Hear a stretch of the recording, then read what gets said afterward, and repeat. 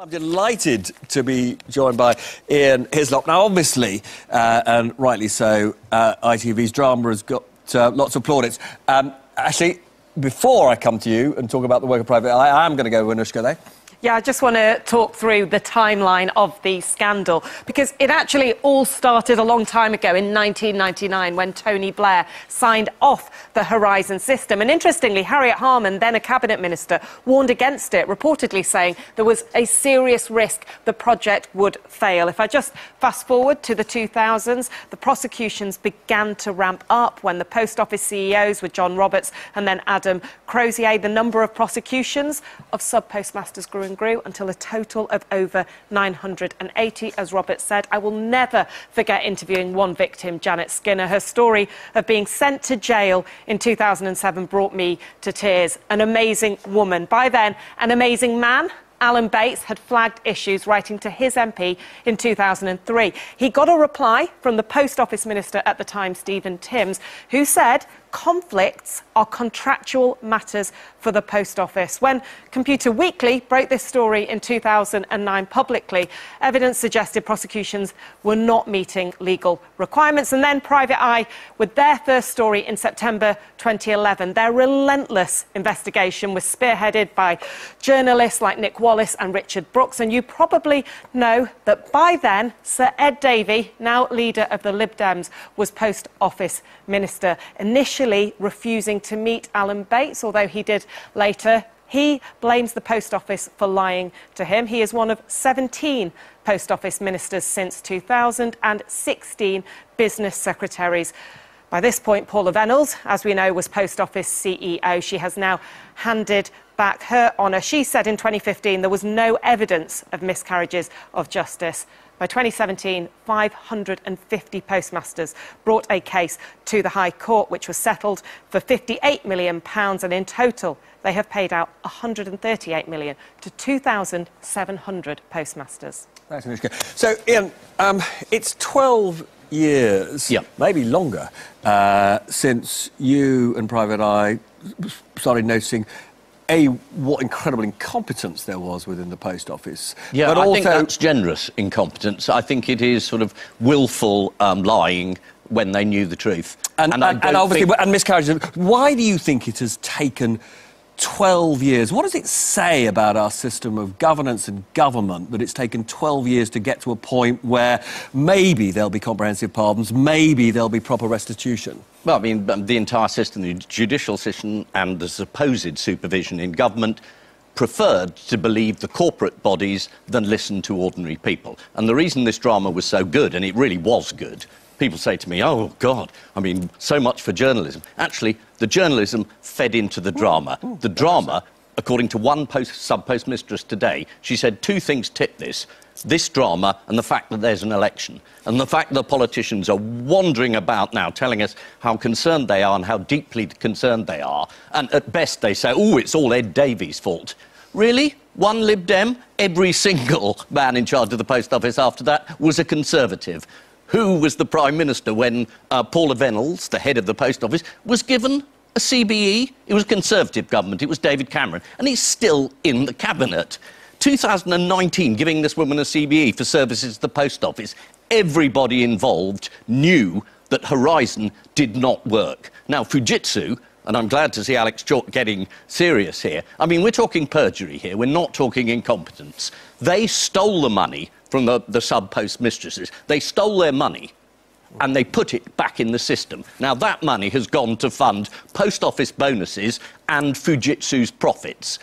The government has continued to employ Fujitsu. What we need to do is say to Fujitsu now, we want compensation from you. How about, how about £1 million per sub postmaster or mistress? That amounts to £1 billion, which is nothing compared to what the taxpayer has paid out to Fujitsu. It is absolutely disgraceful, this. And I'm, go I'm going to rant now because there isn't much time. The idea that people are saying, got, well, got, guilty got, no, no, people could make a lot of money. They've already made a lot of money.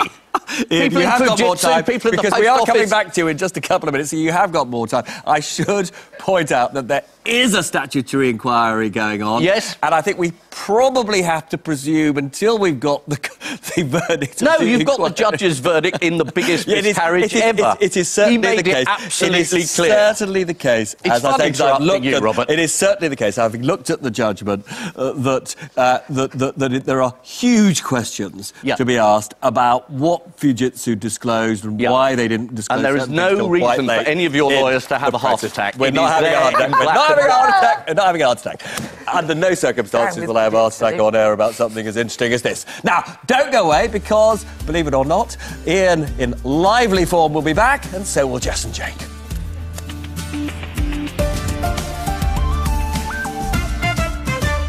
Uh, welcome back. Ian Hislop is still with me. Now, whatever you think of Ian's passionate, uh, should we say, criticism of uh, Fujitsu and of the post office, I am told I have to read out this statement from Fujitsu. It says this The current Post Office uh, uh, Horizon IT statutory inquiry is examining complex events stretching back over 20 years to understand who knew what, when, and what they did with that knowledge. The inquiry has reinforced the devastating impact on postmasters' lives and that of their families, and Fujitsu has apologised for its role in their suffering.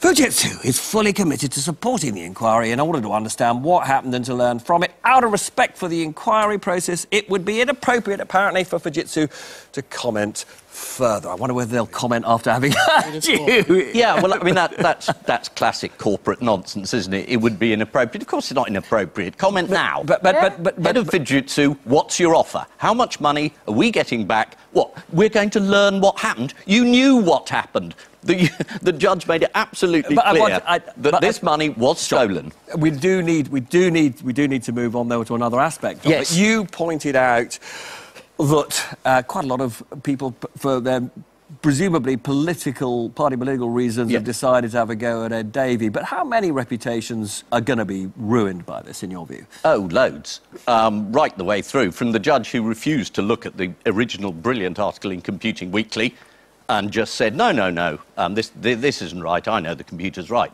I mean, it isn't that people think computers are always right. They were told by human beings who knew perfectly well that there was a blip in the system that the system was working. It was robust. It was perfect. It wasn't. And this presumption of innocence was serious people who sit on boards and are in charge of things know what's right. Ordinary people, i.e., sub postmasters and mistresses, must be lying. No matter how many people said, look, look, we know these people. They run our village. They are really good people. Hmm. They weren't believed. And it took And that is so long. that is that is astonishing.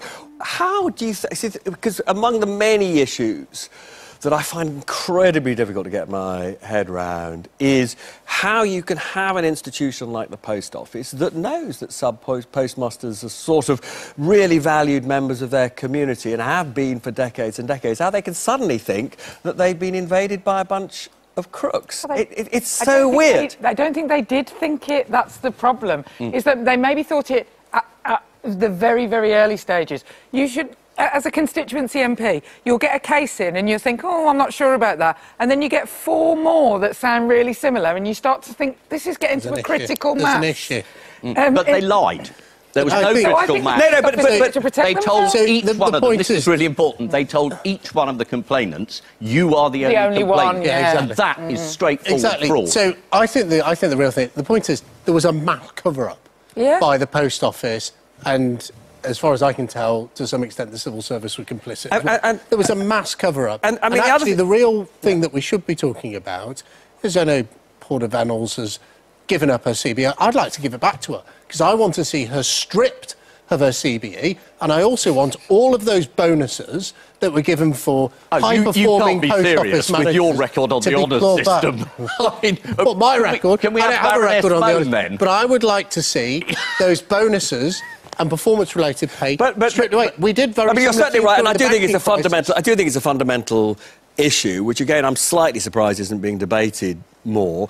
Allegedly, this management, including uh, you know Paul Reynolds, uh, turned the business around. But the, we now know because of the hundreds of millions being paid out, those weren't real profits. No, they were right? incentivised. That- you know, this business was not turned Certainly. round. But like in the from having a public crisis where service we ethic stripped bonuses, in which we they were operating in the public good, they were incentivised to make money for the post office. And that led to ignoring what was going on in the hope of getting better remuneration. And that's disgraceful. and all of them should have to pay those bonuses back. 100%. But I mean, but, but the problem we got in this country, and it's a serious problem, is no government has actually put in place any kind of system that actually enables clawback in these kind of circumstances. And in the end, you know, you're sort of relying on the goodwill of people to hand back money. Well, that's when has that well, ever happened? one thing we Well, do control is their massive taxpayer-funded pensions. We do have control of that, and we can pass an emergency piece of legislation, a parliamentary pardon. Why can't we do the same thing with their pensions? Well, why couldn't you do it so long ago? The fact that it takes an ITV drama and suddenly, having been told their entire campaigning lives, this is very difficult, you'll have to go in front of a judge, this is very, very expensive. Oh, this morning it isn't. Tomorrow we'll pass legislation and you're all exonerated. I mean, it is absolutely fatuous for this government to claim, hey, we're really acting now. Did nothing. Did No, nothing sorry, the whole sorry, time. no, sorry. That No, you're is- not That sorry, is it's not demonstrably sorry. That is demonstrably complete and utter. Why did you give her a. CBE That- in Why did you 2019? want a CBE? Why did you tell you why appoint her to the Cabinet Office? complete You talk her over nonsense. everyone else, and you've been doing it the entire programme. Shh, Ian, Ian, let him speak. Two wrongs don't make a right. That programme, which you claim to love so much, and was an amazing piece of drama put together by What, you're saying I don't claim to... ends, Why am I claiming to love that programme? ends. I did like that programme. You can't just talk nonsense and not It's be not interrupted. nonsense. That programme ends in 2019 with that court case. Yeah. In the intervening period, Yeah. we 130 million pound plus has Actually, been you did say that earlier. Jake, and unfortunately, I'm And the told, government has set up an annoyingly. Go and ask. Over. The programme's over. Now the Go big and ask question. post All right. I don't think we're going to have a chance to tell you what's coming next week. Um, but anyway, bye everybody.